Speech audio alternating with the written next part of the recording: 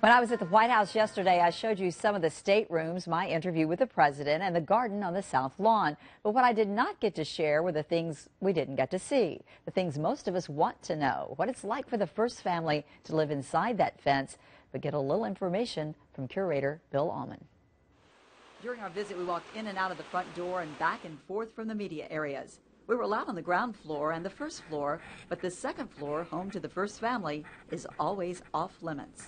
So on the second floor, it's just as big as this floor, and so you have a, a suite of, of, quarters for the family. Um, the girls each have a, a room.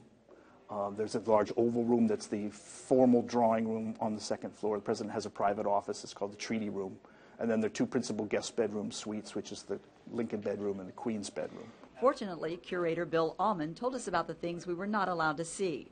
There were also things we could see but were not allowed to video. For example, anything involving or near the West Wing and Oval Office. Another example, we were told the Obamas had a playground set up for their girls, an updated tennis court, so it can now be modified into a full basketball court for the president.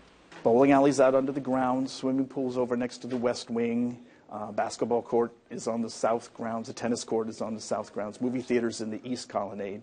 And as you may know, the First Lady spends a lot of time in the kitchen garden on the south lawn much of the White House food is made from what's grown in that garden. Assistant Executive Chef Sam Kass says the first family likes simple meals like burgers and tacos. The First Lady, you know, really believes that if we're eating balanced uh, sort of, you know, most of the time, then having some fun and not worrying about food on the weekends or when you're at a party, whatever, is no big deal. So really simple food, though. I mean, this is a home, and we have young children, so we keep it very simple. And speaking of simple, maybe the most laid-back attitude in the White House comes from Bo, the first dog. The three-year-old stopped by for a visit and seemed to be the most well-behaved pet. He just sat there and posed for the cameras before deciding it was time to go. He was a hit with all of the reporters. They like they Very liked calm. him. I was just telling Rick that uh, there is a protocol for the paintings of the uh, portraits of the former presidents. Huh. Right outside the state dining room, there was a painting of uh, President Kennedy.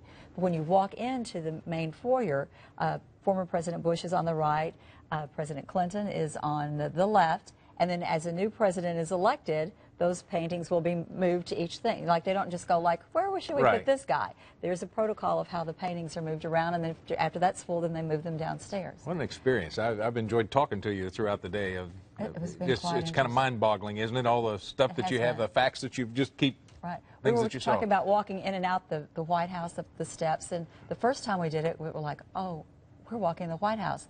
The 20th time we did it, it just became old hat. Oh, yeah, we're just walking in the. But TV doesn't do it justice. It does, does it? not. It does not. And every place you go, you have someone with you. You have an escort. You do not walk up those steps at the White House without somebody with you. Not free reign. It was a lot of fun. We'll enjoy, enjoy hearing more about that. Thank Thanks. you.